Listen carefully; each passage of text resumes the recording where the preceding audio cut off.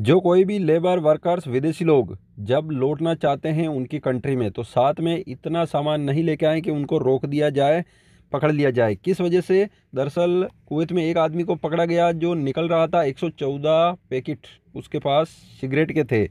यानी कि इतना भारी मात्रा में कोई भी सामान ना लाएँ, जिससे कि उनको पकड़ा जाए। एक तरह से ये देखा जाता है कि ये धंधे के लिए, बेचने के लिए लेके जा रहे हैं। एक दो पैकेट या तीन पैकेट सही है, लेकिन 114 पैकेट पकड़े गए तो पकड़ लिया। सिगरेट के इतने ज़्यादा मात्रा में कोई भी सामान अलाउ नहीं है।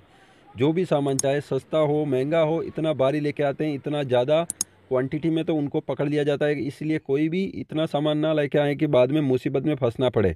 अगर सौ में से एक मामला ऐसा हुआ कि कुवैत एयरपोर्ट से निकल गया या कुवैत में जो बॉर्डर्स हैं, उनसे निकल गया, लेकिन आगे वाले एयरपोर्ट पे पकड़ा जाता है तो फिर वहाँ पे जो है उसके हिसाब से टैक्स वगैरह लगता है तो ये और भी महँगा पड़ जाता है कुवैत से यहाँ से लेके जाने में। इसीलिए इतना ज़्यादा सामान ना लेके जाएँ, कोई भी किसी टाइप से जो कुछ भी सामान हो, चाहे इलेक्ट्रॉनिक सामान हो तो उसके ऊपर टैक्स लगता है। अगर ज़्यादा सामान लेके जाते हैं या फिर कोई महँगा सामान लेके जाते हैं तो उसके ऊपर अलग से टैक्स लगता है। इसीलिए ये बात का ख्याल रखें, कोई भी लेबर वर्कर्स ज़्यादा सामान ना लेके जाएँ। एक दो सामान सही है अलग अलग तरह के सामान सही है, लेकिन एक ही तरह का ज़्यादा क्वांटिटी में ना लेके जाएँ। अगर कोई साथ में प्लास्टिक का खिलौना, जो बंदूक होती है प्लास्टिक की टॉय होता है, वो भी साथ में ले लेके जाए, नहीं तो नहीं निकलेगा।